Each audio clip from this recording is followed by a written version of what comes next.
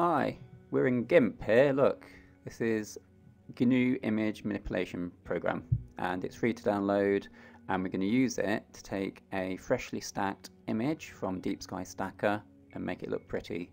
So first of all, I'm going to open that file. I think it's, it's going to be a TIFF for a start. I think it's this one here. Right, let's make that a bit bigger. So go to View, Zoom, and I think we'll go to 25%, fill the screen a bit more. As you can see, there's not much detail in there, and that's because when you've stacked a load of long exposures in Deep Sky Stacker, for example, you've not pulled out all that detail yet, it's just stacked them together. You've got all the information there, but you just need to pull it out. And this is an example of a bit of software that can do that. Some people pay for PixInsight, which is probably much better. This is probably quite basic in comparison, but there's quite a few people that use GIMP, and it's probably a good place to start as well, with it being free and quite simple to use. So if you're starting out, this might be the one for you. So a bit of an explanation. This on the right hand side is called the histogram and we need to pay very careful attention to this, that's really important. We don't want that big spiky thing going all the way to the left, all the way to the right.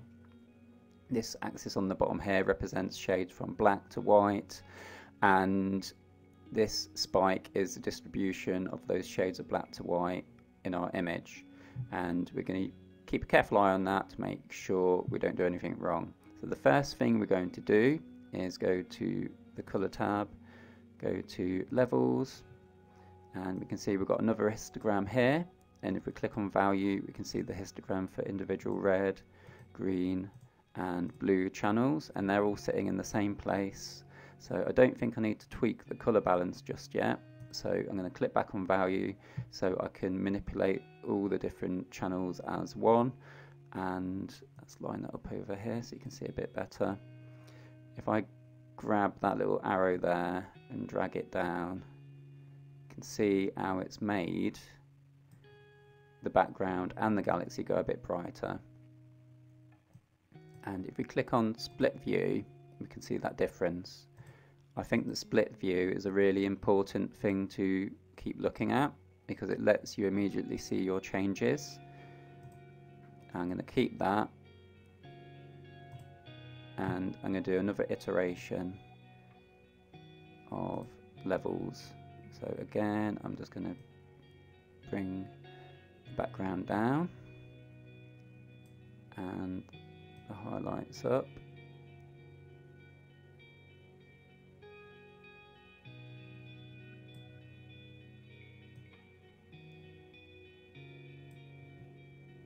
Split screen it make sure I'm happy hit OK and maybe one more iteration of that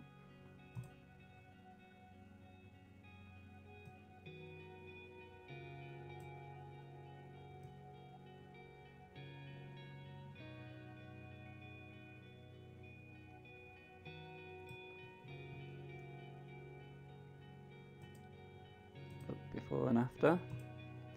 Hit OK to apply it.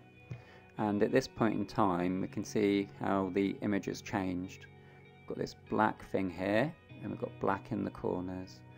Now that's because when I stack my images in Deep Sky Stacker I only used light frames which are the long exposures you you take to capture the object now, there's different types of frames, and probably the second most important is something called flat frames.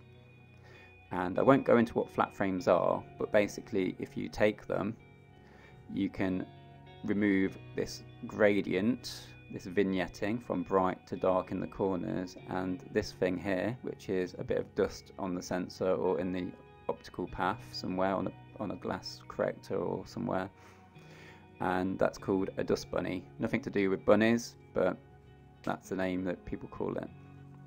So as I'm just using light frames for this tutorial, I'm kind of up against it. So if we can get a good image, we're doing well.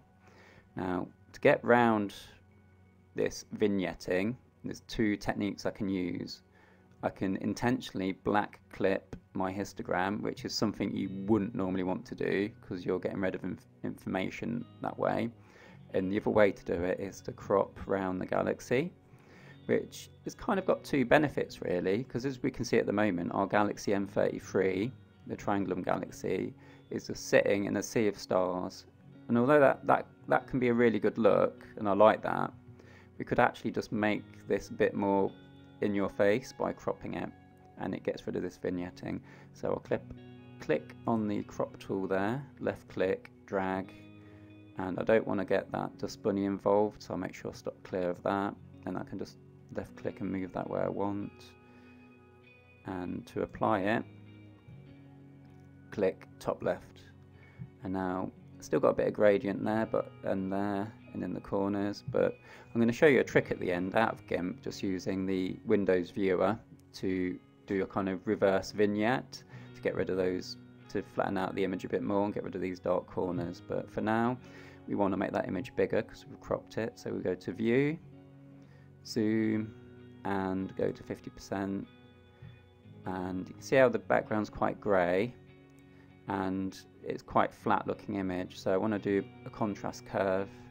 Go to Color, Curves, and you can see this line going through the histogram if we click up there, which is represent the lighter kind of shades, we can pull up those highlights. And if we click down here with the darker shades, we can then drag it down to darken the background, but keep those highlights. I think that's pretty good.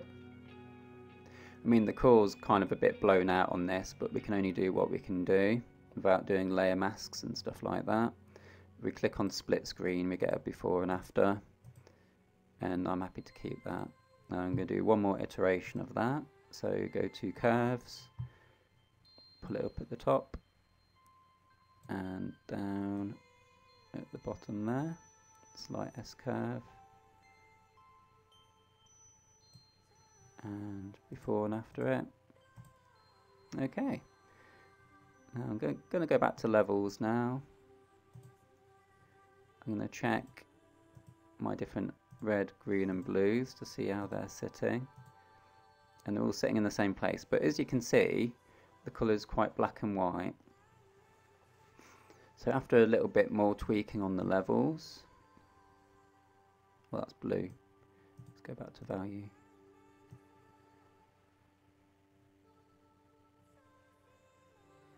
I think that's good. I'm now going to try and get some colour out of it. So if I go to colour again and Hue Chroma, and then using this tab here I'm just going to click on that middle one which says chroma. You can see we're bringing out a bit of colour now at the expense of the background. The background's gone a bit of a crazy colour. Uh, still want to do a bit more.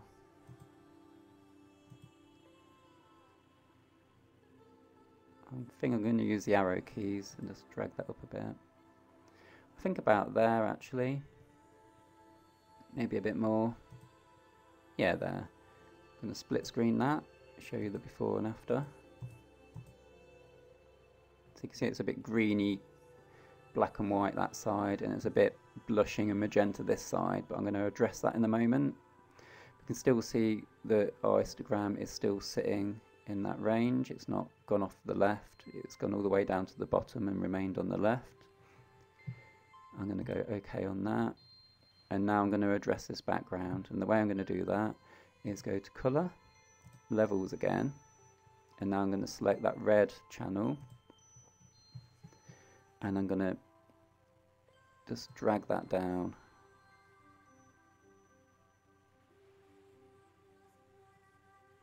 Uh, about there. Before and after. Let's move that down over there so you can see. You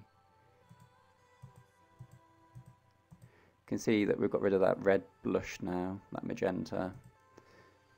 Okay. It's basically that, you know. It's just levels, curves, a bit of contrast and uh, hue adjustments. But what we can do is we can try and bring out some of these dust lanes a bit more. And I'm going to go to colour again.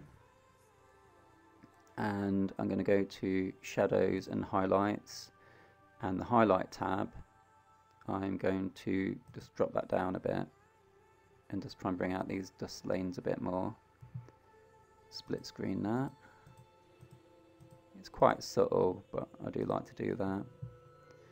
And I think I can afford to sort of get rid of a bit more grey in the background as well. So let's go to levels again. And we're on the value which is going to move everything as one. Bring that up a bit more.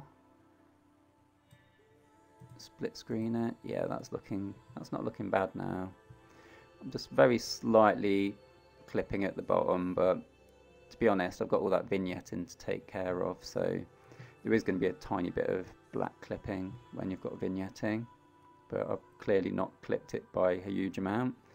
And uh, do you think we need to go a bit more on the contrast? Maybe? Um, let's go saturation pump that up a little bit. That's too much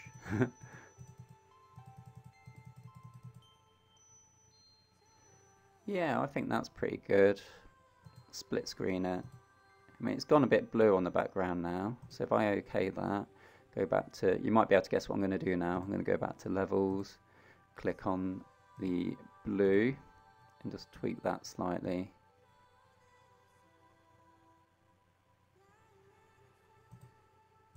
Yeah, and if you find it's a bit noisy looking, your image, you can zoom right in. Say view, we'll go to 100%, and now we'll go to filters, enhance, and noise reduction. Split screen. And okay. And this will take a moment to do its thing. But hopefully that will just clean up a bit of noise make it look a bit smoother I think that will do and we'll zoom back out again 50% so there, there we have a basic manipulated image so we've gone from quite a, a dull looking colourless image to one that's arguably quite a lot better. And you can see I've blown out the core there, but there's nothing I can do about that with just having a single layer. I could lasso it and try and use the lasso tool there and just draw around it and try and manipulate that bit. But I'm not going to do that for this tutorial, let's just leave that. So we can see I've, I've, barely clipped the left side of the histogram, so we've not lost too much data. Colour balance isn't too bad, we've got yellow stars there, and I'd like those to look a bit more bluish, but it's not too bad.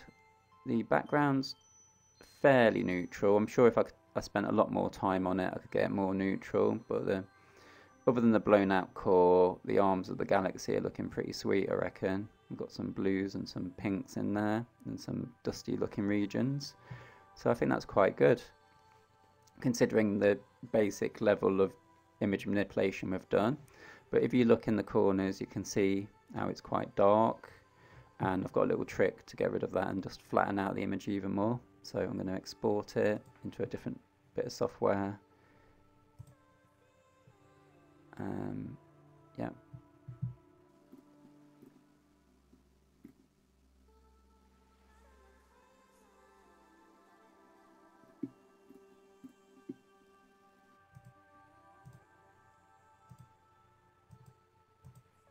There you are.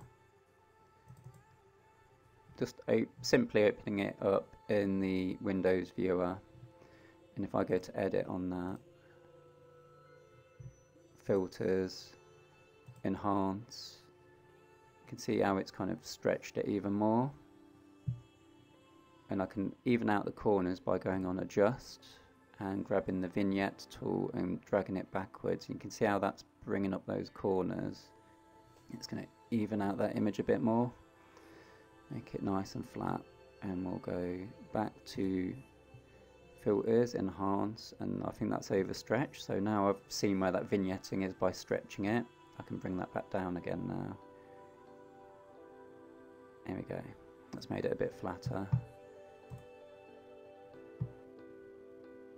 Let's call that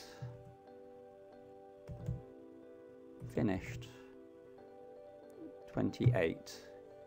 It's probably not, not my 28th version, but that's what I'll call it. So if you ignore the core, just put your thumb over that bit, I don't think that looks too bad at all. There we have it. if you want to do basic processing and you don't want to spend any money and you don't want to have a big learning curve, then just a few levels and curves and a bit of tweaking in GIMP can get you from where's the first picture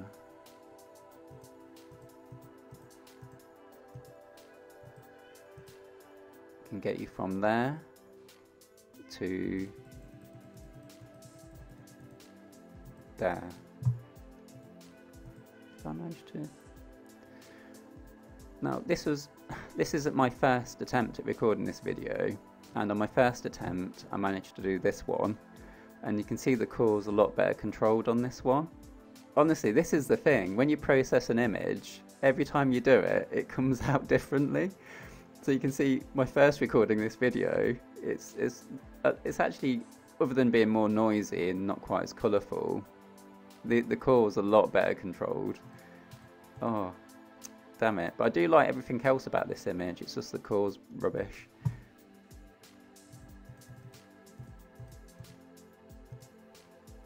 See, I've done loads of different versions of this.